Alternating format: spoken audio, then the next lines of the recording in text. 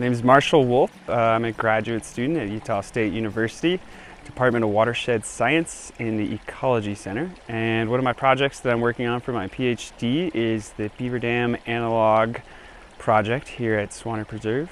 And so our goal is to promote the stream processes that beavers promote, which is like channel migration, flood, overbank flooding, that will help establish and maintain those woody riparian vegetation communities with the ultimate goal of attracting beaver to come back and kind of maintain these stream reaches for us and take our job so that we don't have to keep building and maintaining and re-restoring these reaches over and over and over again. A beaver dam analog is essentially designed to mimic both the physical structure in the stream and then the actual functions to the operation of a stream ecosystem that a natural beaver dam would provide.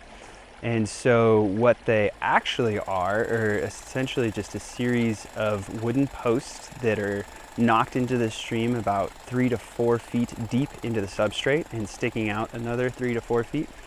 And then we kind of use all natural on-site materials, including willows, rocks, sediments, soil, etc., to weave a beaver dam-like structure through those posts. And we kind of customize these or, or, slightly modify the design based on the exact particular uh, conditions of any location that a beaver dam analog might be put at to accommodate those different types of habitats that we're building these in. So some key indicators that we're monitoring is temperature and dissolved oxygen within the stream. Um, East Canyon Creek has historically within the last 10 to 15 years been impaired for both of those, temperature and dissolved oxygen, sometimes to a level so low that it can kill native fish species.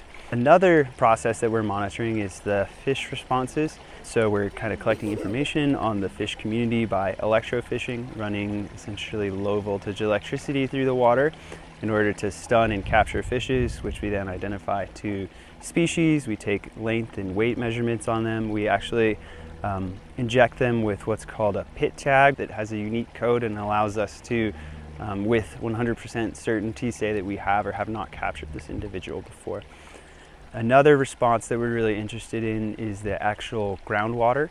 So we have at our restoration reaches, at our BDA reaches, we have about six groundwater wells that we're monitoring for kind of how groundwater is changing over the course of the season and how it was prior to the BDAs versus after we built them. Um, and then kind of our last big response is stream morphology or geomorphology as it's known.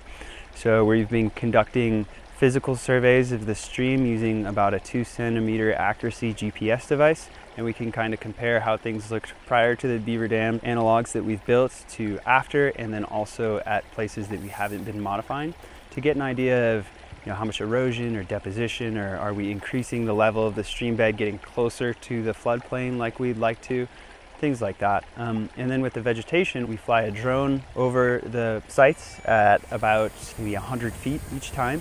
And that allows us to get about two to three centimeter accuracy pixels so that we can delineate patches of vegetation and see how these woody riparian species like willows and cottonwoods are changing versus plants that are more upland and that aren't so desirable in the floodplain zone that we like to see eventually replaced with more native kind of riparian obligate plants. So really our end goal here with the, with the Beaver Dam Analog Project is to encourage the recruitment and kind of retainment of native species like Bonneville cutthroat trout, which were historically in this section of stream, but currently aren't, and maintain the biodiversity that we have here, like the native pilose crayfish or the sandhill crane population that breeds here every summer. Um, that would be a beautiful thing.